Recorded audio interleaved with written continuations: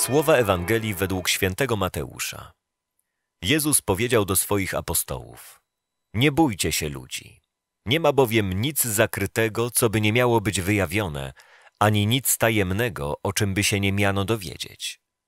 Co mówię wam w ciemności, powtarzajcie na świetle, a co słyszycie na ucho, rozgłaszajcie na dachach. Nie bójcie się tych, którzy zabijają ciało, lecz duszy zabić nie mogą. Bójcie się raczej tego, który duszę i ciało może zatracić w piekle. Czyż nie sprzedają dwóch wróbli za asa? A przecież żaden z nich bez woli Ojca Waszego nie spadnie na ziemię. U Was zaś nawet włosy na głowie wszystkie są policzone. Dlatego nie bójcie się, jesteście ważniejsi niż wiele wróbli. Do każdego więc, który się przyzna do mnie przed ludźmi, przyznam się i ja przed moim Ojcem, który jest w niebie. Lecz kto się mnie zaprze przed ludźmi, tego zaprę się i ja przed moim Ojcem, który jest w niebie.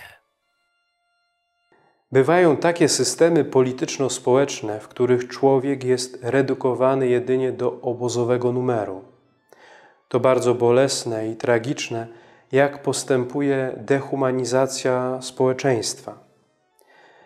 Dewaluacja godności ludzkiej dokonuje się jednak nie od jakiegoś ogólnoludzkiego poruszenia, ale niejednokrotnie od decyzji pojedynczego człowieka. Idee bywają zaraźliwe, w tym także te nieludzkie. W dzisiejszej dobrej nowinie Jezus wlewa w nasze serca nadzieję. Jesteśmy ważni dla Boga, nawet wtedy, gdy nie jesteśmy ważni dla nikogo innego.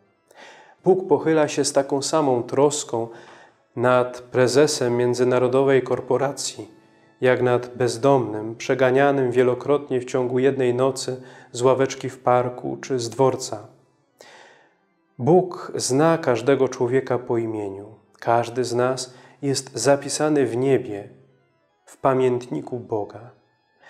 Kiedy wreszcie dotrzemy do celu naszej ziemskiej pielgrzymki, siądziemy wygodnie na kanapie obok Boga Ojca, a On wyciągnie album ze zdjęciami z naszego życia i zaczniemy wspominać wszystkie wydarzenia, nawet te już dawno wyrzucone w niepamięć i zdziwimy się, że On, Bóg, o nich ciągle pamięta.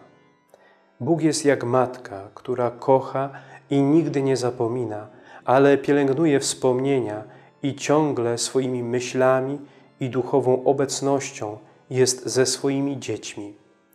Bóg zna nas nawet lepiej niż my sami znamy siebie. On kocha nas i troszczy się o każdą sprawę, nawet tę najbardziej błahą. Pamiętajmy o Bogu, bo On o nas nigdy nie zapomina.